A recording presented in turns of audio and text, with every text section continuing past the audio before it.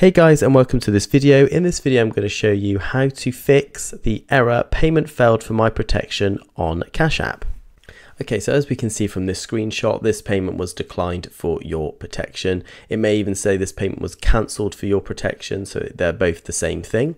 Okay, so to actually fix this, what you're going to need to do is actually go into your Cash App so the first thing you're going to want to do is actually go into your profile icon in the top right hand corner and then in this section select verify your identity.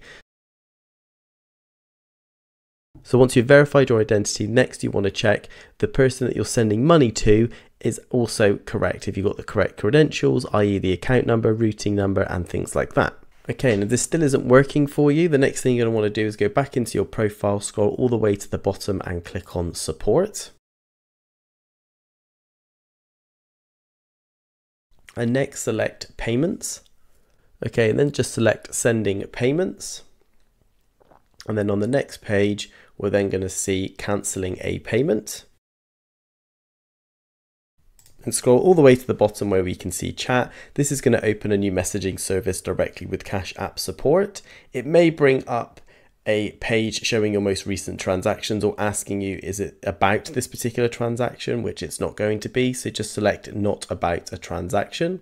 And then this should open up the messaging service directly with support. So just press chat.